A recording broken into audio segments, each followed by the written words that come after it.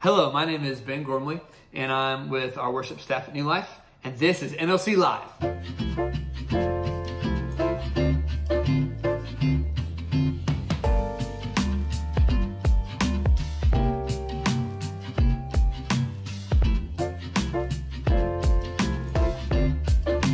So today we're going to read um, the verse Psalm 1 2. Psalm 1 2 says, But whose delight is in the law of the Lord, and who meditates on his law day and night. Well, notice there's a but in there.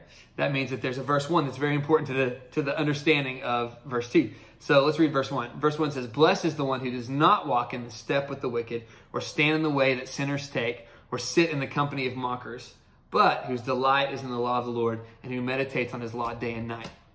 And I love this because I think there's a promise to claim here, and there's also an application we can make. The promise, if you look back to verse 1, is that we'll be blessed if we don't do these things that, that the world says are so important or so, you know, that, that's where life is, is living a sinful lifestyle, getting caught up in the world's idols, success, fame, you know, whatever it is, um, you know, Insta.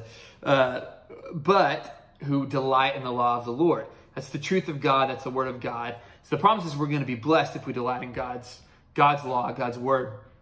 And there's also an application to make, which it says meditate on His law day and night. To meditate is not anything spooky. It's just simply focusing your mind on the Word of God, the truth of God. Sometimes I know when I when I uh, get my to do list in my head and I, I'm kind of on the go and I'm rushing, that's when I tend to get my mind and my thoughts off of God's truth. And I, I get I get rushed, I get harried, and a lot of times my son will tell me if, if I'm kind of barking out orders to him and Ari, um, just get in the car, do this, get, or get in the bath or whatever, you know, he'll be like, Daddy, you're speaking harshly to us. And I'm like, okay, buddy, you know, and then I realize, wow, I've, I've really gotten off track and I have to kind of repent to the Lord and to my kids. I'm sorry I've been yelling at you, you know. Um, but that's because I haven't been meditating on on God's God's word. And so that's simply, I think a lot of times repentance is a lot easier than than than this big thing we make it. It's just simply like, okay, God, I'm sorry. Let me get right back on track, you know. Um, and I, you know, and I'm back in living in the Spirit again.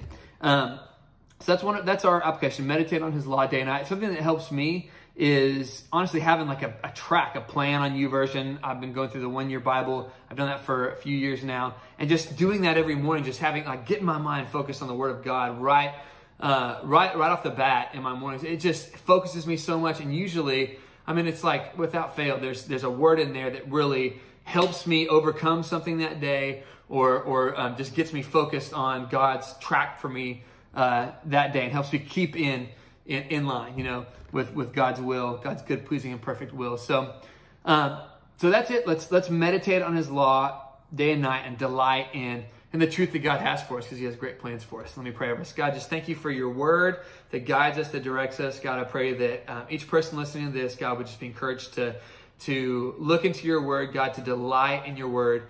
Um, and we just give you all the glory. In Jesus' mighty name. All God's people said, Amen.